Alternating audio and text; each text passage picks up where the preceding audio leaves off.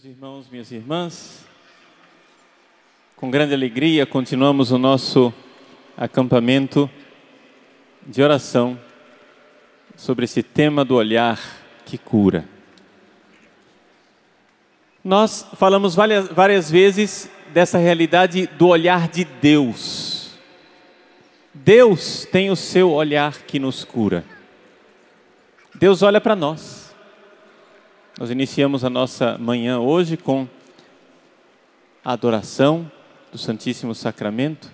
Quantas vezes nós já olhamos para a hóstia, olhamos para Jesus no Santíssimo? Mas é importante muitas vezes nós nos darmos conta que o que cura é o olhar que Ele tem sobre nós. Então, essa ênfase de Deus que olha para nós, e esse olhar é um olhar amoroso e é um olhar que nos cura, que nos faz bem, que nos redime. Mas nessa palestra, eu gostaria de inverter os papéis. E eu gostaria de falar do nosso olhar. Ou seja, existe sim o olhar de Deus sobre nós. Mas, se nós somos curados pelo olhar de Deus, essa cura produz em nós um olhar curado, um olhar sarado, uma forma de olhar o mundo diferente. E é sobre esta forma diferente de olhar o mundo que eu gostaria de pregar nesta manhã. Quem tiver a sua Bíblia pode abrir no Evangelho de São Lucas, capítulo 11. São Lucas, esse grande evangelista que foi amigo de São Paulo, ele, segundo a tradição, era um pintor. Não é? Ele era médico, claro, essa tradição falava que São Lucas era médico, mas também ele seria o autor de vários ícones antigos da Virgem Maria. São Lucas, que escreveu o Evangelho da Infância, a partir da ótica da Virgem Maria, provavelmente teve esse contato com a Virgem Santíssima. E então a tradição identifica em vários lugares vários ícones que teriam sido pintados por São Lucas. São Lucas, então, é esse homem que tem um olhar de artista, um olhar que consegue enxergar na criação, nas coisas, nas pessoas, a presença de Deus. Isso é só para um pouco contextualizar na tradição. Mas São Lucas capítulo 11, versículos 33 a 36. Eu vou ler para vocês e aí nós vamos comentando. É? Vou primeiro ler o texto todo. É Jesus quem diz: Ninguém traz uma lâmpada para colocá-la num lugar escondido ou debaixo de uma vasilha. Coloca no suporte a fim de que os que entram vejam a claridade. Muito bem, até aí, isso é uma palavra que está também nos outros evangelhos, no evangelho de Mateus. É? Nós somos a lâmpada que deve iluminar o mundo. Mas é interessante que São Lucas aqui faz uma inversão. E ele diz o seguinte: A lâmpada que ilumina o corpo é o olho. Veja que biologicamente falando, isso não é muito correto. Nós sabemos que o olho não tem luz própria, né? O olho não ilumina, o olho é iluminado. O olho, ele foi feito para captar a luz. Porém, por que é que Jesus está aqui dizendo que a lâmpada que ilumina o corpo é o olho? É porque Jesus não está falando de biologia. Ele não está falando aqui de como é que funciona o nosso globo ocular. Jesus não é oftalmologista. Jesus está aqui simplesmente revelando um segredo da alma. Existe uma forma de olhar o mundo que nos ilumina e uma forma de olhar o mundo que nos deixa nas trevas. Isso aqui não interessa se fisicamente você enxerga ou se fisicamente você é deficiente visual, você é cego. Não é esse o problema. O problema não se trata de uma visão física, o problema é uma visão espiritual. Eu conheço pessoas que são deficientes visuais, que têm uma visão espiritual do mundo extraordinária. É disso que Jesus está falando. A lâmpada que ilumina o corpo é o olho. Vamos aprofundar essa ideia. Jesus diz assim: Se teu olho for simples, eu não sei como é que diz essa a tradução né, sua aí, mas no grego original a palavra que está aqui é simples, raplus. Daqui a pouco eu comento o que quer dizer um olho simples. Se o teu olho for simples, ficará cheio de luz. Mas se teu olho for ruim, ficarás todo em trevas. Examina, pois, se a luz em ti não são trevas. Se então o teu corpo estiver todo cheio de luz, sem traço algum de escuridão, ficarás totalmente iluminado, como acontece quando a lâmpada te ilumina com seu clarão. Então Jesus aqui está falando de uma iluminação interior. Então a comparação que Jesus está fazendo aqui, não é? É que o olho seria a janela da alma. O olho seria esta fresta, esta fenda, esta abertura pela qual a luz entra no nosso interior, para iluminar o nosso interior, nosso corpo por dentro. O que é que é o nosso corpo por dentro? Aqui é claramente está falando da alma, não é? Esses dias eu estava falando com uma mãe de família e ela falando da dificuldade de educar o seu filho e de explicar as coisas de Deus.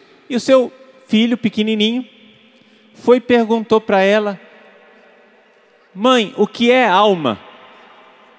E a criança pequena queria saber o que é alma. E a mãe não sabia dizer e, e tentou explicar de várias formas, etc. Até que de tarde ela se encontrou com a sua outra filha, que era já um pouquinho mais crescida, tinha seus 10, 11 anos. E disse para a filha: Filha, seu irmãozinho hoje perguntou para mim o que é alma. A menina abriu um sorriso e disse: Você não sabe o que é alma? Alma somos nós por dentro. Está aí uma definição de uma criança que caberia bem naquilo que nós estamos tentando ilustrar nessa leitura do Evangelho alma somos nós por dentro.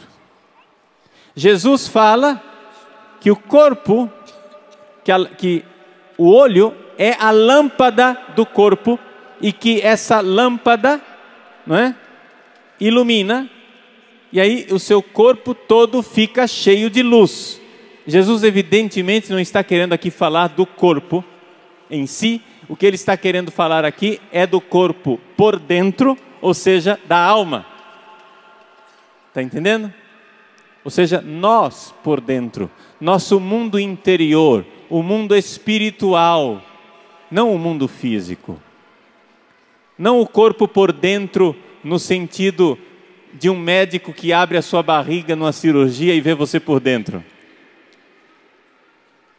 Jesus não está falando das suas tripas. Jesus está falando da sua alma. O olho é a luz, é a lâmpada do nosso interior. Nós precisamos ter um olhar diferente sobre o mundo.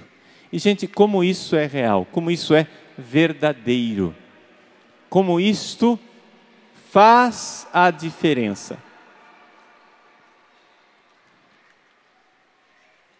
Eu me lembro uma vez, um casal de pais, eles eram jovens, tinham, eram recém-casados, né? E aconteceu que tinham tido seu filho, seu filho era recém-nascido, eles dando banho na criança e cuidando da criança, isso aquilo. Aconteceu que eles não souberam dar o banho direito. A criança a água estava muito quente e a criança chorou e não sei o que, etc e tal. Depois o casal veio preocupado para perguntar: Padre, será que o nosso filho ficou traumatizado? Criança recém-nascida. Será que ele ficou traumatizado? Olha, olha a preocupação desse casal preocupados se com o banho que deram na criança ela ficou traumatizada. E qual é a resposta que a gente pode dar para esse casal? A resposta é a seguinte, gente. Nenhum, atenção, nenhum acontecimento na sua vida traumatiza você. Ninguém fica traumatizado pelo acontecimento a pessoa fica traumatizada pela reação que ela teve diante do acontecimento. Ou seja, não é o que aconteceu, mas é o olhar que você teve sobre a coisa que irá traumatizar você ou não. É a reação que você teve que irá traumatizar você ou não. Eu conheço uns rapazes que são gêmeos. Eles têm a mesma carga genética. E conheço desde de pequeno, hoje, é? já faz muito tempo que eu não os vejo. E acontece o seguinte: eles tiveram o mesmo pai, a mesma mãe, os mesmos acontecimentos familiares. Um deles é mulherengo ao extremo. Muito mulherengo. O outro é homossexual. Os mesmos acontecimentos de vida. Você vai chegar e dizer: Ah, Fulano é homossexual por causa do pai que não deu carinho. Fulano é homossexual por causa da mãe que foi super protetora. Pois bem, eu conheço esses gêmeos, não é? Que vivem essas vidas tão diferentes. Um é mulherengo. Um não consegue ver um rabo de saia que vai atrás. O outro, o outro é homossexual que luta para ser casto, mas não consegue. A última notícia que eu tive é que ele estava morando com um companheiro lá. Ele morava com um companheiro, enquanto o outro irmão era mulherengo e não parava com uma mulher. Não casava nunca porque não ficava contente com nenhuma mulher. Vejam, mesmo pai, mesma mãe, mesma infância, praticamente os dois tiveram. Mesma carga genética. Quem diz que a pessoa, ah, o fulano nasce homossexual porque é a carga genética. Como é possível que duas pessoas com a mesma carga genética? Eu conheço a prova de que não é genético. né? E o que é então? Ah, a culpa é dos pais, mas eles tiveram o mesmo pai, a mesma mãe. Ah, a culpa é do horóscopo, mas eles nasceram na mesma hora. A culpa é do clima. Ah, mas eles nasceram na mesma cidade. A culpa é da alimentação, mas eles receberam a mesma alimentação. A culpa é dos acontecimentos da vida, mas eles tiveram a infância praticamente igual, frequentaram as mesmas escolas, tiveram os mesmos amigos. Gente, nós somos livres para reagir diante da vida. Está entendendo? Nós somos livres para reagir diante da vida. Eu conheço casos numerosos, porque fui reitor do seminário durante 15 anos, e durante 15 anos a gente atende muitos rapazes, ouve a vida de muitos rapazes que contam a sua vida para ser selecionados, se podem ou não podem entrar no seminário, se pode ou não pode ser padre, etc. Eu conheço rapazes que, quando eram criança, tiveram relações sexuais com outro homem e por isso ficaram com tendência homossexual.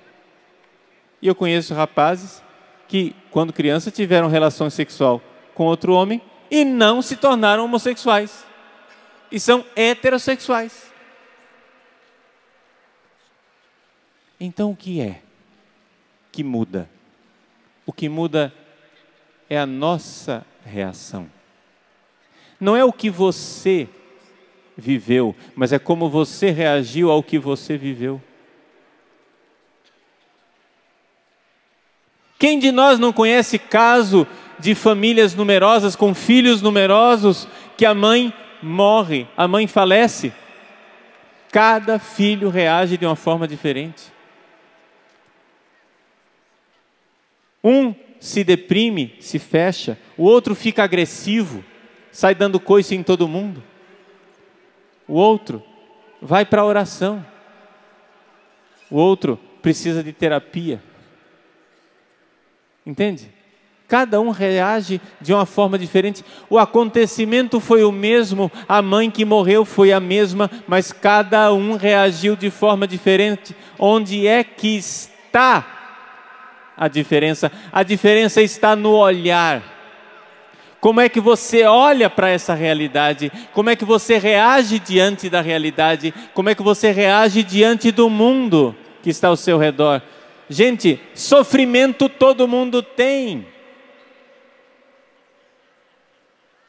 Acontecimentos potencialmente traumáticos tem para todo mundo. Mas como é que você reage? diante da cruz da vida?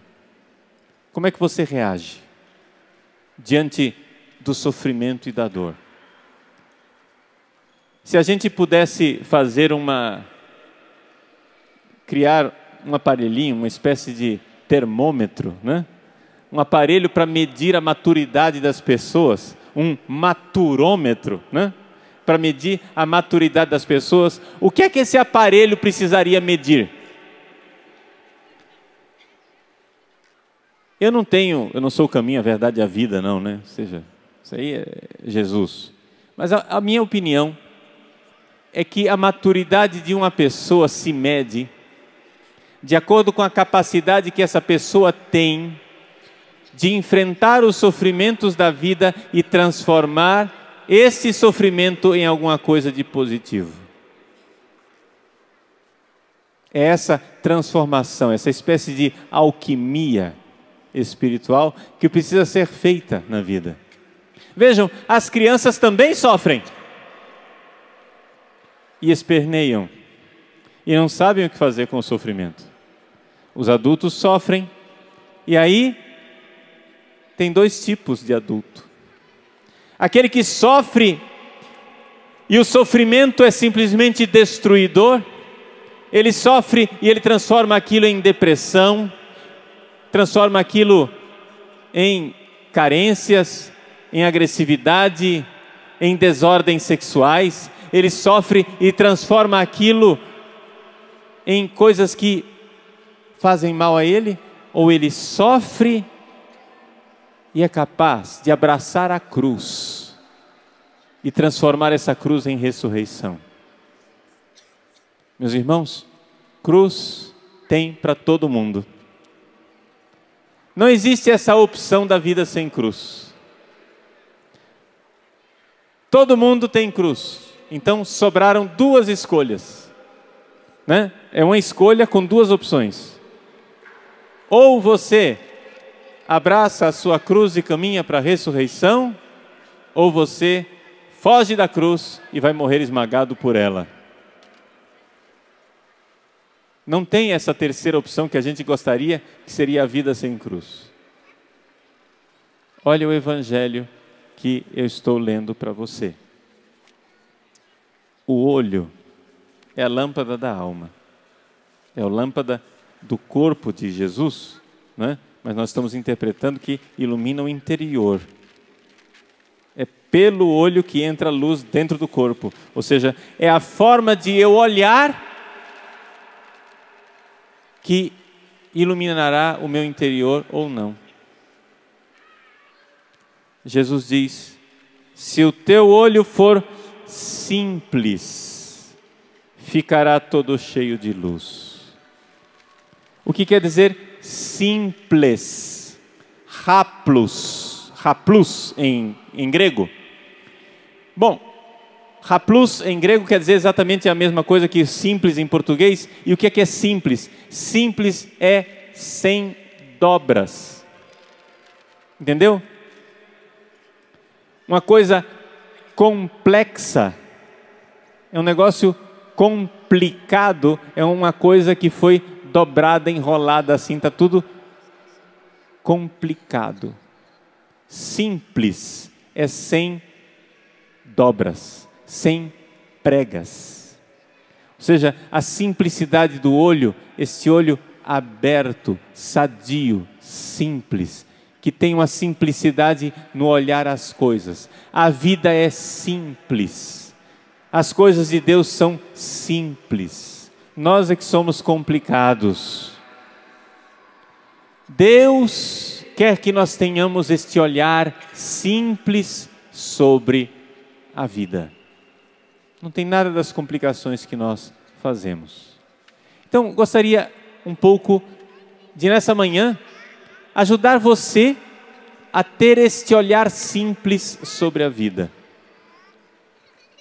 a se livrar das complicações. E o que é que faz com que um olhar seja complicado? Ele seja dobrado sobre si mesmo, um, olhar que não se abre para a luz lá fora, mas ele se fecha, ele se complica, ele se dobra e a pessoa começa a olhar só para dentro de si mesma, naquelas trevas, naquela escuridão, ali ela não vê luz, ali ela não vê nada, ela está voltada para si mesmo. É a atitude do egoísta. Enquanto aquele que se abre para a luz, se abre para o amor de Deus. Vamos olhar um pouco para essa vida com a simplicidade de Deus. E qual é a simplicidade de Deus para essa vida? É o seguinte, gente, Deus nos colocou neste mundo para nós vivermos uma coisa muito sem complicação. Estamos nesse mundo para preparar o nosso céu. Essa vida ela é muito simples.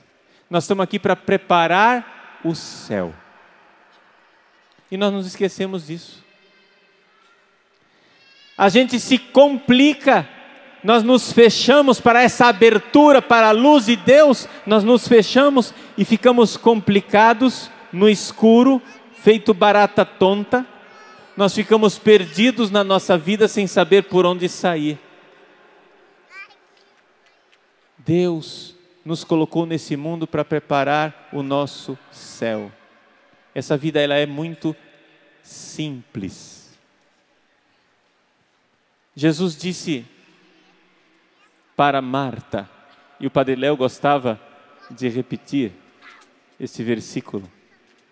Marta, Marta, tu te inquietas e te agitas com muitas coisas. Uma só coisa é necessária. Uma só coisa. É simples. Deus. Esse é o necessário. É você preparar sua vida com Deus. Vejam, as pessoas perdem noção das coisas. Às vezes até padre perde a noção das coisas. Por que é que eu sou padre? É simples. Eu sou padre para preparar o meu céu e para ajudar vocês a chegarem no céu. Você quer ir para o céu? Então fala assim, levanta a mão e diz: Eu quero. Senhor Jesus, eu quero ir para o céu.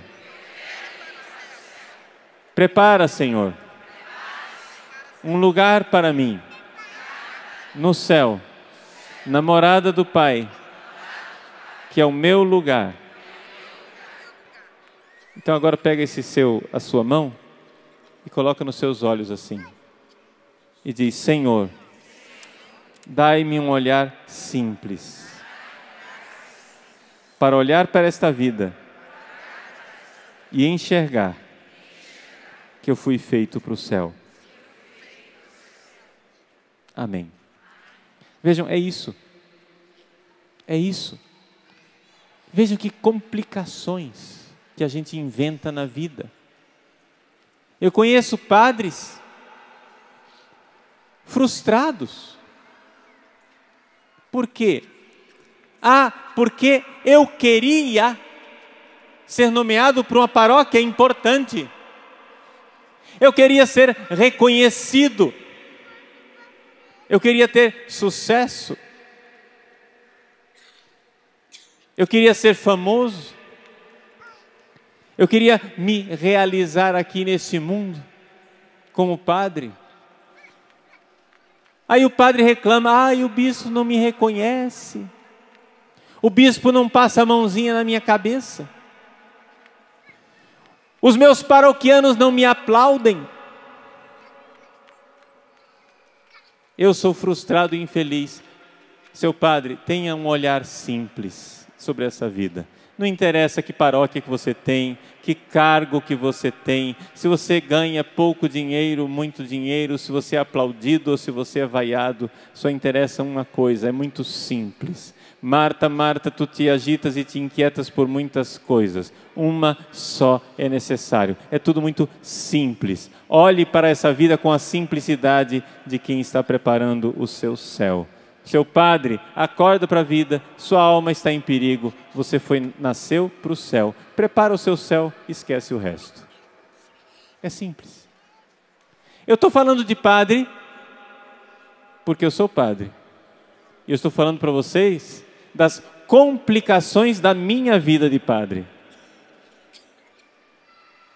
A minha vida seria muito complicada se eu estivesse, como padre, preocupado em sucesso, em carreira, em aplauso, em título.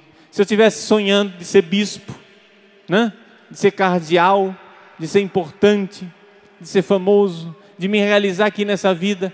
Mas, gente, não adianta nada ter uma boa paróquia, não adianta nada ter um título, não adianta nada ser importante e famoso e depois perder o céu. A coisa é muito simples. A gente tem que olhar para esta simplicidade. Eu vim aqui preparar o meu céu. Não espere céu aqui na terra. A gente se confunde muito. Não vai ter. A simplicidade é esperar o céu. Quantos casais se preparam para o casamento e vão e dizem: Ah, por que, que você quer se casar? Ah, eu quero me casar para ser feliz. Então desmarca o casamento. Para. Cancela. Avisa para os convidados não virem. Não vai dar. Não vai dar. Meu irmão, se você vai se casar, deixa eu te dar uma boa notícia e uma má notícia. A boa notícia é o seguinte: a felicidade existe. A má notícia é a seguinte: não vai ser sua mulher quem vai te dar. E não vai ser seu marido quem vai te dar. Mulher nenhuma é capaz de te trazer a felicidade, homem nenhum é capaz de trazer a felicidade. A felicidade ela existe, ela está em Deus. Ele foi preparar um lugar para nós no céu. Esse é o nosso lugar. É simples. É olhar simples, olhar para a vida de forma simples. É no céu que nós seremos felizes. A sua esposa é uma companheira que te ajuda a ir para o céu. O teu esposo é um companheiro que te ajuda a ir para o céu. Vamos embora, vamos para o céu, gente. Vamos embora. Entende? Carrega a cruz uns dos outros, vamos nos ajudando e vamos para o céu. É simples. Ah, mas eu queria ser feliz aqui. Meu irmão, Jesus nunca prometeu felicidade para ninguém aqui. Não prometeu. Aqui o que ele disse foi: se você quer me seguir, renuncie a você mesmo, tome sua cruz dia após dia e me siga. Isso que ele disse aqui. Mas lá é que vai ter a felicidade. Quem promete felicidade aqui é o diabo e o que ele geralmente entrega é o inferno. A coisa é muito simples. A vida ela é simples. Uma comparação que eu sempre faço e gosto de repetir porque ela ilumina muito nossa forma de viver essa vida é a comparação do tira-gosto e do banquete. Gente, Deus nos deu essa vida. Essa vida é boa. Essa vida é bonita. Essa vida, ela tem algo de belo ela tem alegria sim para nos dar, mas a felicidade nesta vida é sempre marcada por alguma frustração. A alegria é sempre nublada por alguma tristeza. O prazer é sempre empanado por alguma dor. A realização é sempre encontra o obstáculo das dificuldades. Nessa vida é assim, não tem nada de errado com a tua vida, não, meu irmão. A tua vida é assim. Ou seja, aqui existem coisas boas e bonitas, mas é só um tira-gosto. É só um tira-gosto. O banquete é no céu. Vamos ser bem sinceros, vamos ser objetivos. Se a felicidade que Deus tem para nos dar é só esse negócio aqui, é uma bela de uma porcaria. Me desculpe, eu não estou falando isso porque eu sou frustrado, não. Aí esse padre é frustrado. Ele se frustrou na vida, né? ele acha que não tem felicidade nesse mundo porque ele é frustrado. Eu não sou frustrado, meu irmão. Eu sou muito alegre de viver. Eu agradeço a Deus, eu sinto felicidade em viver. E uma das razões pelas quais eu sou profundamente feliz é saber que isso aqui não é tudo. Porque se fosse tudo, eu estava deprimido. Entende?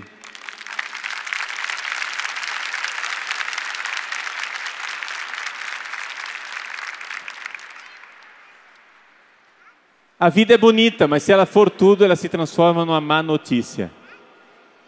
Você vai na casa de uma pessoa, hoje é domingo, né? Quem sabe tem até gente em casa agora, assistindo pela televisão. E na frente aí da sua televisão, está lá na mesinha de centro, um tira-gosto, né? Estão perto da hora do almoço, está lá o seu tira-gosto. Qual é o seu tira-gosto hoje? É amendoim? Um pouquinho de azeitona? Né? Qual é o seu tira-gosto? Uns canapés? se você for requintado, né?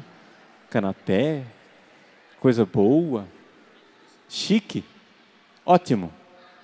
Ou você gosta de um salame, né? Um salame bem cortadinho. Tudo isso é gostoso. Umas bolachinhas. Tudo isso é muito bom. Só que acontece o seguinte: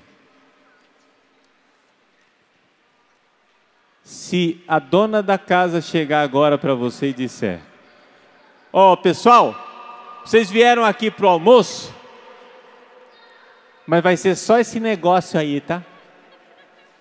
Trata de encher a barriga de azeitona, de amendoim, de salame. Aquilo que antes era uma boa notícia tornou-se uma péssima notícia. Tornou-se uma verdadeira desgraça. Por quê? Porque o tiragosto ele é saboroso na boca, mas ele é pesado no estômago. Se você for encher sua barriga de salame, você vai ter uma azia, meu irmão. Porque é gostoso, mas é pesado. Essa vida ela é gostosa. Essa vida é boa, mas ela pesa na alma. Ela pesa por quê? Porque ela sempre deixa o gosto do quero mais. Eu quero mais. A vida é bela, mas eu quero mais. A vida me traz alguma felicidade, mas eu quero mais. E Deus nos prometeu muito mais. Com a graça de Deus, Ele nos prometeu um banquete celeste. Ele nos prometeu a felicidade do céu. Então, nós precisamos olhar para este mundo com um olhar de Deus. Qual é o olhar de Deus? Qual é o olhar com o qual Jesus olhava para esta vida? Nós não precisamos fazer teorias, basta abrir o Evangelho e ver como é que Jesus olhava para as pessoas, como é que Jesus olhava para os acontecimentos, como é que Jesus olhava para cada coisa. Como é que Jesus olhava para os pecadores? Jesus olhava amando o pecador e odiando o pecado. Jesus queria dar a ele misericórdia, mas pedia dele conversão. Como é que Jesus olhava para esta vida? Como é que Jesus olhava para a sua vida? Uma dica, ele disse assim: O filho do homem não veio para ser servido, mas para servir e dar a sua vida em resgate por muitos. Jesus veio a esta vida para dar a vida. Eu vim para que todos tenham vida e a tenham em abundância. Como é que a gente recebe esta vida de Jesus? Porque Ele dá a sua vida, Ele entrega a sua vida assim que Ele olha para esse mundo. É simples. Nós viemos aqui e precisamos, nesse mundo, olhar para a realidade e saber: eu preciso dar a vida. Eu preciso não esperar muito, eu preciso amar. Por quê? Uma das grandes dificuldades que complicam o nosso olhar no mundo é exatamente o fato da gente não enxergar o amor de Deus. Eu conheço pessoas que são muito bondosas, elas servem os outros, amam, fazem o bem. No entanto, chega uma hora em que ela para, olha assim ao redor e diz: E eu? Como é que eu fico? Eu amo os outros, ninguém faz nada por mim. Como é que eu fico nessa situação? E eu como é que fico? Gente, existe algo de complicado nesse olhar. E onde é que está a simplicidade do olhar à vida? Você saber o seguinte: você está amando os outros? Muito bem, saiba de uma coisa: Deus amou você por primeiro. São João nos diz isso na sua primeira carta. O amor consiste nisso, Deus nos amou por primeiro. O olhar complicado é da pessoa que não abre o olho para ver o amor de Deus em primeiro lugar, mas ela acha que o amor dela está em primeiro lugar. A pessoa só olha para dentro de si, ela está com os olhos fechados e ela vê o amor dela. Eu estou amando. Eu estou amando a minha mulher, estou amando o meu marido, estou amando os meus filhos, estou amando os meus irmãos, estou amando os meus paroquianos, estou amando o meu bispo, estou amando a canção nova, estou amando as pessoas. E aí, chega uma hora, eu me canso de amar todo mundo, amar todo mundo, amar todo mundo, me sento e fico. Muito bem, agora me amem. Me amem de volta. Eu quero ser amado. Cansei de amar e não ser amado de volta. Por quê? Porque esse é um olhar complicado. Esse é um olhar fechado em si mesmo. Abre o olho, meu irmão. Abra o olho e enxergue o amor de Deus, que é número um. O seu amor é sempre uma resposta ao amor de Deus. Você ama sua esposa? Muito bem, Deus te amou primeiro.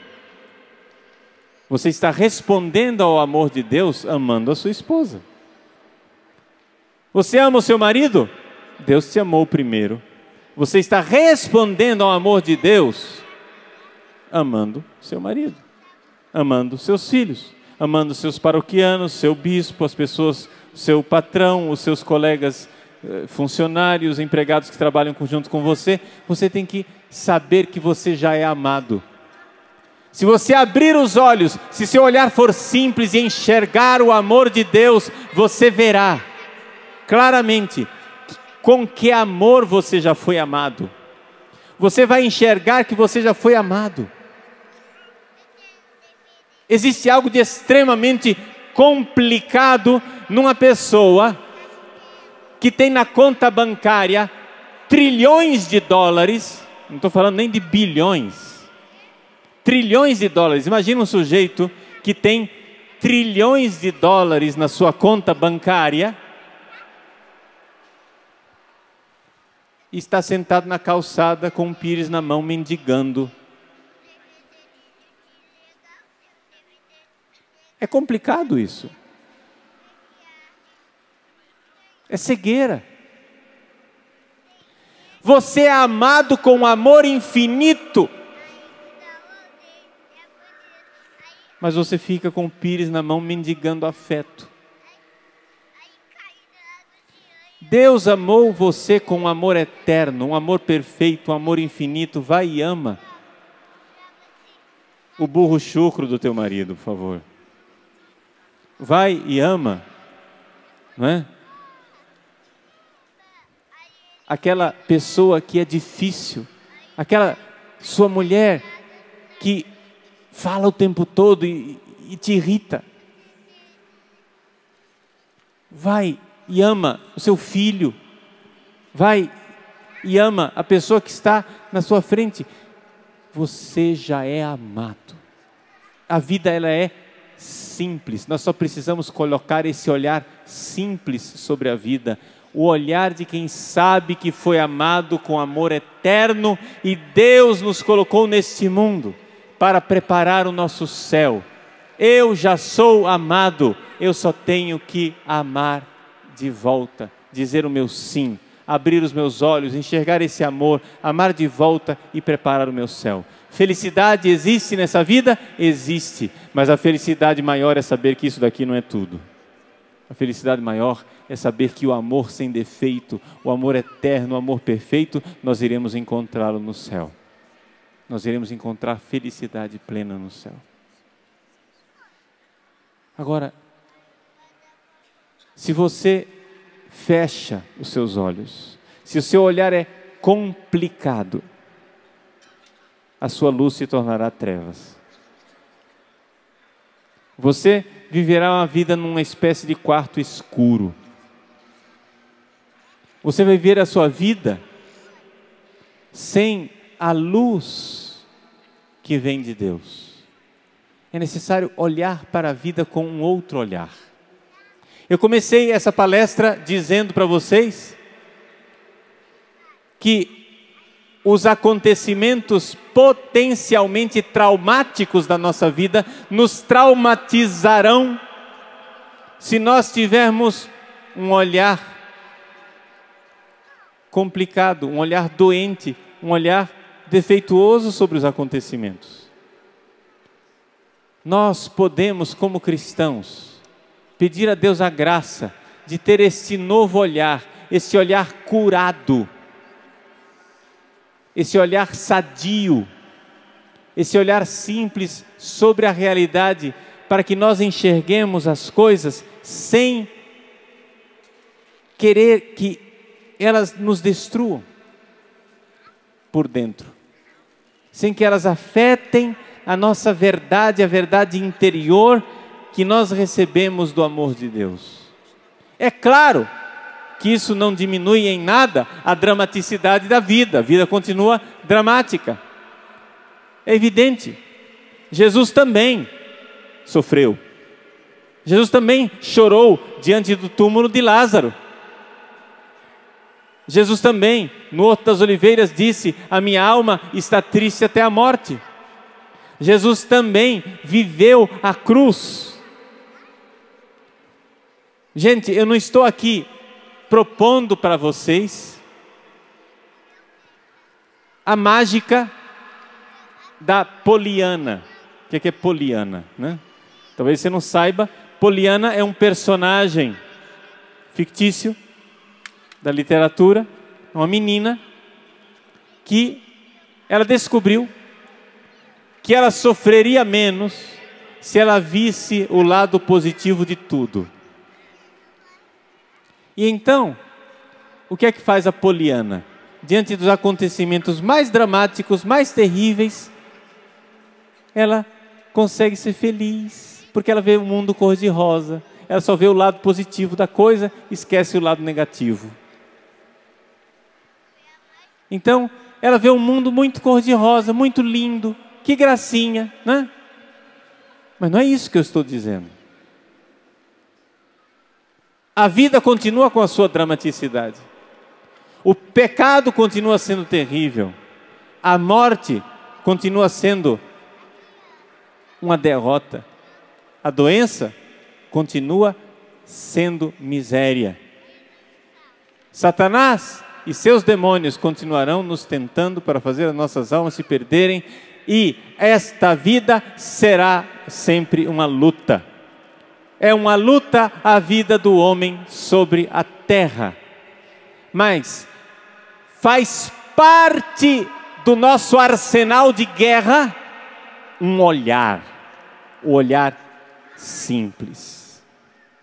Vejam, um soldado, o soldado que vai à guerra, imagine se durante a batalha, no momento em que a batalha está sendo travada, se esse olhar começar, se esse soldado começasse a ter um olhar complicado, o soldado, no meio da batalha, começa a lembrar a mulher dele que está em casa e que está grávida.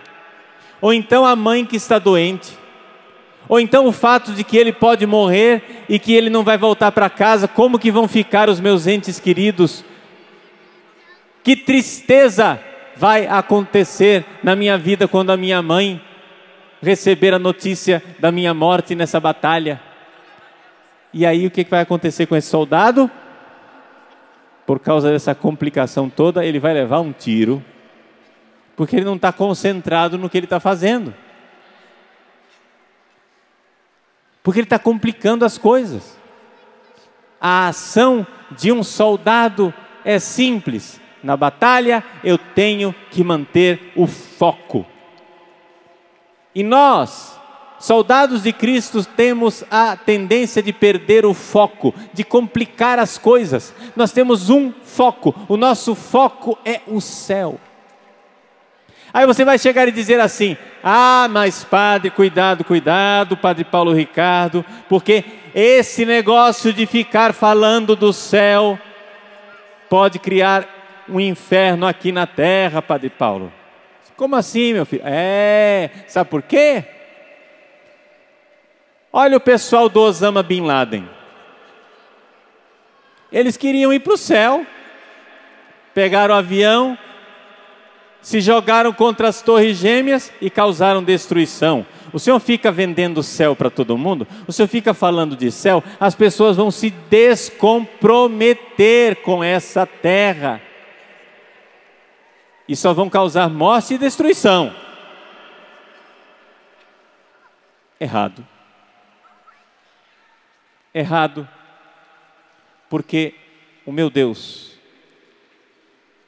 o nosso Deus, o Deus de Jesus Cristo, não é o Deus que recompensa o suicídio. Não é o Deus que quer a morte. Nada disso. Eu estou aqui para preparar o meu céu, que é o encontro com Deus de amor. E só tem uma forma de preparar o meu céu: é amar. Jesus não disse assim: vai e crucifica os outros. Jesus não disse isso. Jesus não disse: entra no avião e destrói, crucifica os outros, faça uma jihad, uma guerra santa, vai lá e acaba com a raça daquele pessoal. Jesus não disse isso. O que Jesus disse: toma a tua cruz e me segue. Porque se você tomar a sua cruz, você vai conseguir trazer um pouco de felicidade para os outros também aqui nessa terra com todos os limites da felicidade desse mundo, e então preparar o seu lugar no céu e o lugar deles também. Manter o foco no Deus de amor, no amor eterno de Deus por mim, e por isso eu vou e amo de volta. Gente, dizer que crer no céu atrapalha o amor é não entender nada de amor. Sabe por quê? Porque se o céu não existe, o que as pessoas vão fazer é exatamente o contrário. Se o céu não existe, meu irmão, vamos aproveitar a vida de São Paulo. Se Jesus não ressuscitou dos mortos, comamos e bebamos, porque amanhã morreremos, diz São Paulo.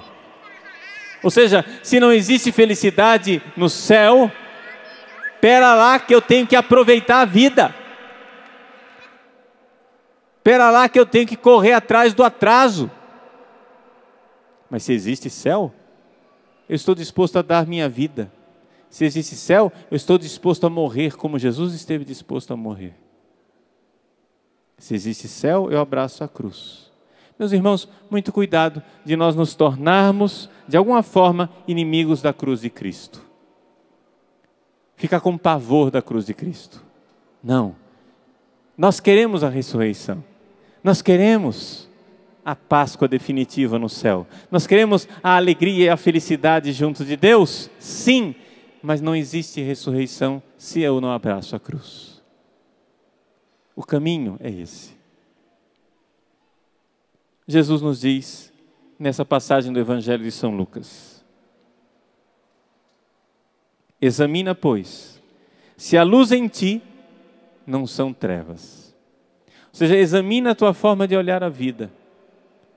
Faça um exame de consciência no dia de hoje para ver se você não está olhando para a vida de forma complicada. Se você não está procurando tantas pequenas felicidadezinhas onde elas não se encontram. Se você não está olhando para o tiragosto com um olhar de banquete se você não está esperando dessa vida aquilo que ela não é capaz de dar.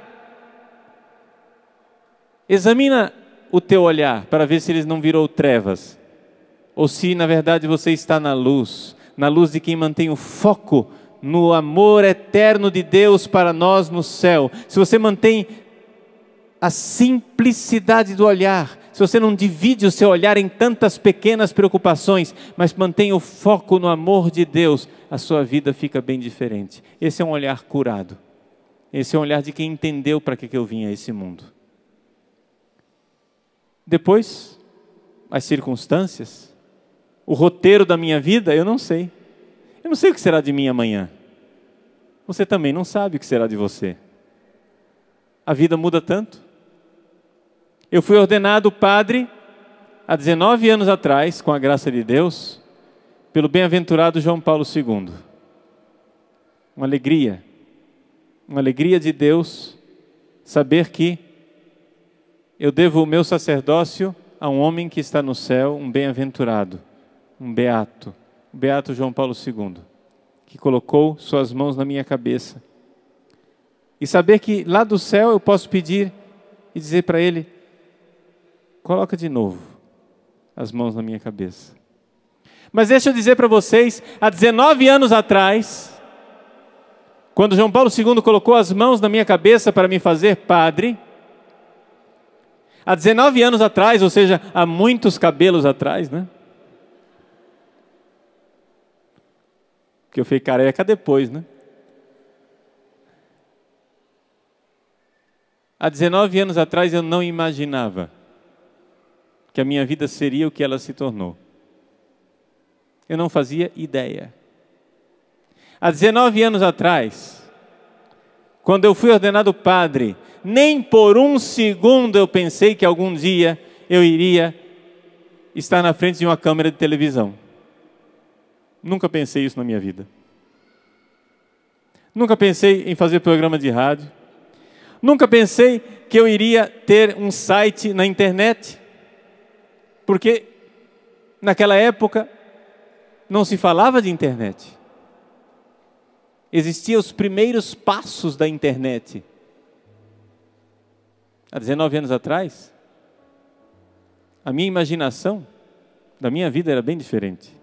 Eu pensava o meu sacerdócio de uma forma completamente diferente. Agora imagine se eu ficasse agora apegado àquele sonho de 19 anos atrás. Gente, nós precisamos manter o foco. Hoje, como há 19 anos atrás, o foco da minha vida deveria ser, infelizmente nem sempre é, porque eu peco, mas o foco da minha vida deveria ser o céu. Esse olhar simples para o céu. Depois, Deus vai te dando circunstâncias diferentes. Como última palavra para concluir, essa pregação, eu deixo para vocês aquela palavra de Jesus sobre a simplicidade das pombas e a prudência das serpentes. As pombas são simples por quê?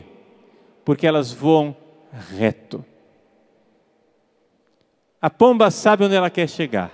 Ela tem um foco. Ela tem um olhar simples. Ela sabe onde ela vai. Ela voa reto. Agora, sabendo que nós temos que ter essa simplicidade das pombas, nosso Senhor pede também que nós tenhamos a prudência da serpente, por quê? Porque, embora a gente saiba onde a gente vai chegar, o caminho pode mudar. A serpente, ela caminha de forma sinuosa. Ela vai desviando dos obstáculos. Mantenha o foco, é o céu. Vai driblando os golpes da vida, como uma serpente. Prudência da serpente quer dizer isso. Tenha jogo de cintura. O brasileiro sabe ter jogo de cintura. Saiba refazer os seus planos, refazer os seus projetos diante das cinzas dos projetos antigos. As circunstâncias desta vida vão mudando. O importante é a simplicidade de saber onde eu quero chegar. Eu quero o céu. Eu quero porque Deus quer. Deus preparou um lugar para mim no céu. É lá a felicidade. Enquanto isso, a felicidade daqui é sempre manchada com um pouco de frustração, a alegria sempre marcada por um pouco de tristeza. Mas se você mantém o um foco, você vai desviando dos golpes da vida na simplicidade da pomba que sabe onde ela quer chegar, e na prudência da serpente que sabe desviar das maldades e das misérias. É isso que Deus quer para nós. Seja o nosso olhar simples, e então todo o nosso interior será iluminado por esse amor que vem do céu. Fique de pé e vamos agradecer a Deus por essa realidade do seu amor da sua simplicidade que nos ama e da simplicidade que nós precisamos ter para com Ele.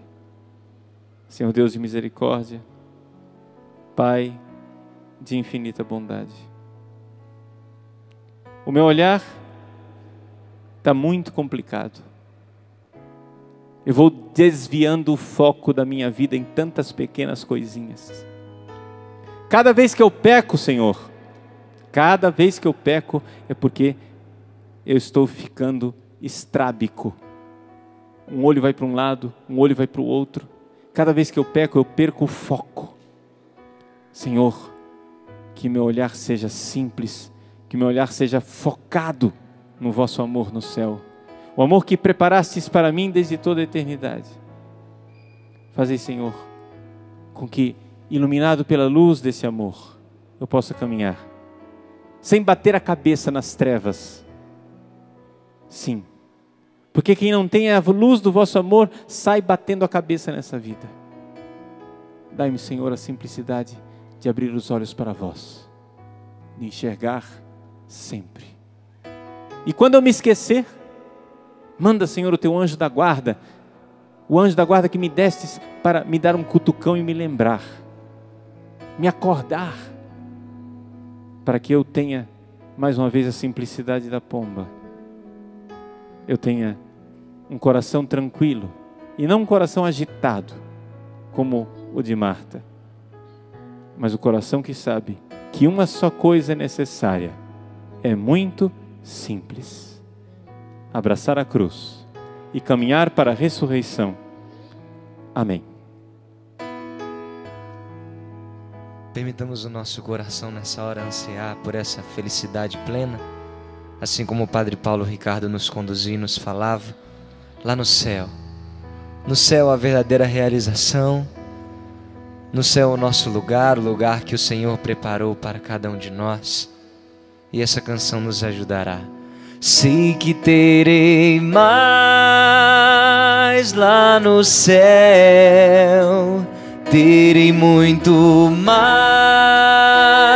lá no céu e uma verdadeira vida aqui perto de ti. Felicidade felicidade sem fim. Sei que terei mais lá no céu, terei muito no céu e uma verdadeira vida aqui perto de ti felicidade sem fim. Sei que terei, sei que terei mais lá no céu. Terei muito mais lá no céu uma verdadeira vida aqui perto de ti. Felicidade sem sei que terei, sei que terei mais lá no céu, terei muito mais uma verdadeira vida aqui perto de ti. Felicidade sem